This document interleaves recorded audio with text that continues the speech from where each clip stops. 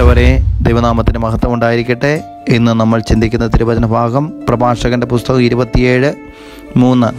ദൈവഭക്തിയിൽ ദൃഢതയും തീഷ്ണതയും ഇല്ലാത്തവന്റെ ഭവനം അതിവേഗം നശിക്കും.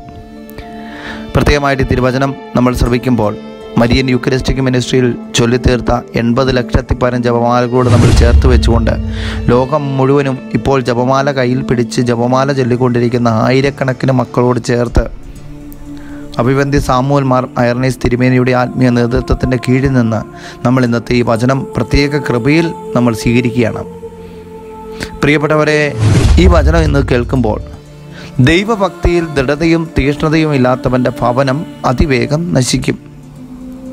പലപ്പോഴും ഒരു ധ്യാനം കഴിഞ്ഞ് ഒരു കൂട്ടായ്മ കഴിഞ്ഞ് ഒരു വചനശ്രവണം കഴിഞ്ഞ് നമ്മൾ പലപ്പോഴും വലിയ തീരുമാനങ്ങൾ എടുക്കും. ഇനി ജീവിതകാലം മുഴുവൻ നമ്മൾ ദൈവത്തിന്റെ കൂടെ ആയിരിക്കും.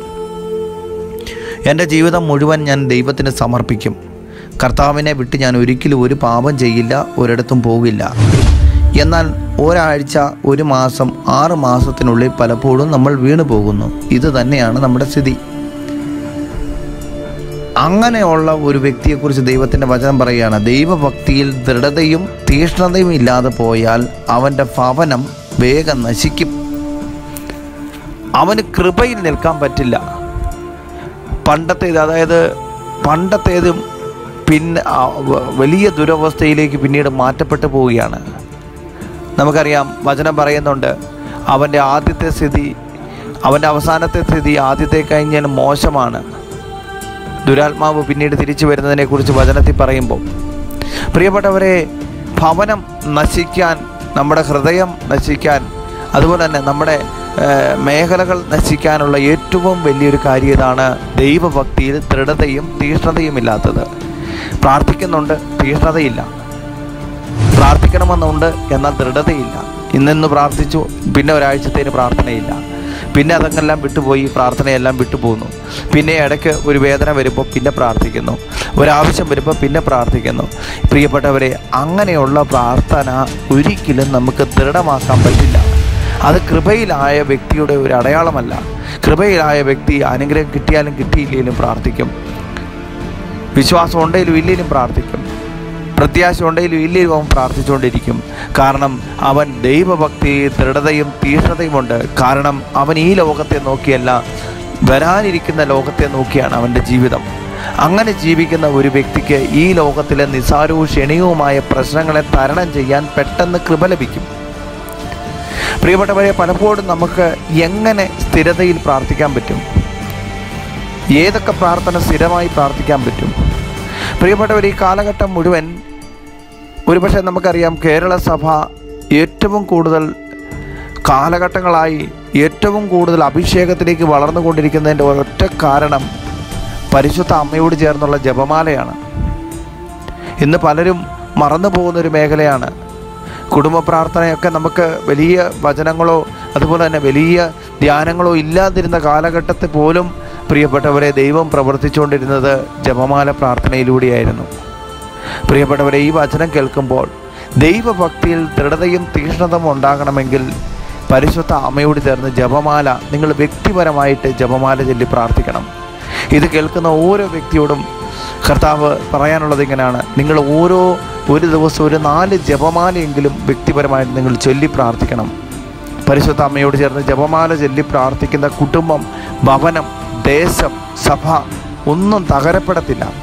അത് സഭയോട് ചേർന്ന് എല്ലാ ആത്മീയ പിതാക്കന്മാരോടും വൈദികരോടൊക്കെ ചേർന്ന് നിങ്ങൾ ജപമാല ചെല്ലണം. വീട്ടിലെ വിശുദ്ധ കുർബാനയാണ് ജപമാല.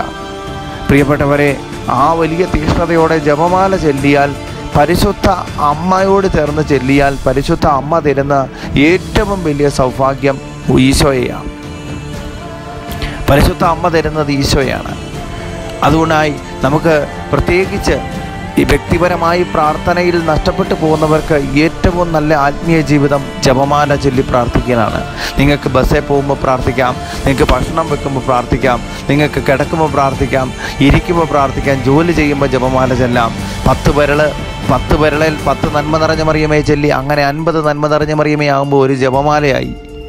അങ്ങനെ ജപമാലകൾ ചെല്ലി ചെല്ലി ചെല്ലി ചെല്ലി കൃപ നിറഞ്ഞ വ്യക്തിയായിട്ട് മാറും. കൃപ നിറഞ്ഞ മറിയമേ എന്ന് ചൊല്ലുമ്പോൾ നമ്മളിൽ അറിയാതെ ദൈവത്തിന്റെ കൃപ നിറയപ്പെടും.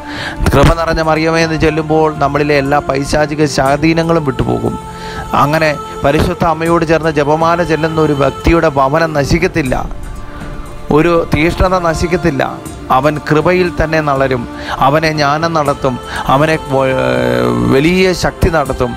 പ്രിയപ്പെട്ടവരെ ഈ ഒരു വലിയ ആത്മീയ ബോധ്യം നമ്മുടെ ഹൃദയത്തിൽ ഉണ്ടാകട്ടെ എന്ന് പ്രാർത്ഥിക്കാം. പ്രത്യേകമായിട്ട് നമ്മുടെ വലിയ ഒരു തീഷ്ണത ജപമാല ചെല്ലാനുള്ള വലിയൊരു തീഷ്ണത നിങ്ങളുടെ എല്ലാവർക്കും ഇത് കേൾക്കുന്ന ഓരോ വ്യക്തികൾക്കും ഉണ്ടാകട്ടെ. ഇത് മറ്റനേകരിൽ എത്തിക്കണം. നമ്മുടെ ലോകം മുഴുവൻ ഇരുന്ന് ആയിരക്കണക്കിന് അല്ല പതിനായിരക്കണക്കിന് ആൾക്കാർ ഈ മിനിസ്ട്രിയോട് ചേർന്ന് ജപമാല ചെല്ലുമ്പോൾ നിങ്ങളും ജപമാല എടുക്കണം.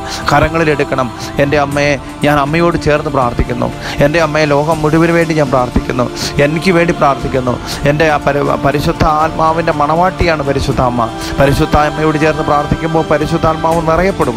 കൃപ നിറയപ്പെടും. അഭിഷേകം നിറയപ്പെടും. പ്രിയപ്പെട്ടവർ ഈ വലിയ പരിജ്ഞാനം നമ്മളെ ഭരിക്കട്ടെ എന്ന് പ്രാർത്ഥിക്കാം. ഈ വലിയ ബോധ്യം നിങ്ങൾ ഇരിക്കുമ്പോഴും എഴുന്നേൽക്കുമ്പോഴും നടക്കുമ്പോഴും ഓടുമ്പോഴും എല്ലാം കൃപ നിറഞ്ഞ മറിയമേ എന്ന് ചൊല്ലുമ്പോൾ നിങ്ങളിലെ കൃപ വർദ്ധിക്കപ്പെടട്ടെ നിങ്ങളിലെ കൃപ നിറയപ്പെടട്ടെ. അങ്ങനെ ലോകം മുഴുവനും ആ ഒരു വലിയ പ്രാർത്ഥനാ കൃപ ലോകം മുഴുവനും നിറയട്ടെ എന്ന് പ്രാർത്ഥിച്ചുകൊണ്ട് നിത്യം പിതാവിനും പുത്രനും പരിശുദ്ധാത്മാവിനും സ്തുതി. ആമേൻ.